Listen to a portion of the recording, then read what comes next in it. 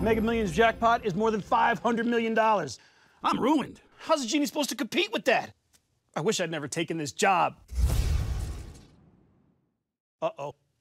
Mega Millions, now over 500 million.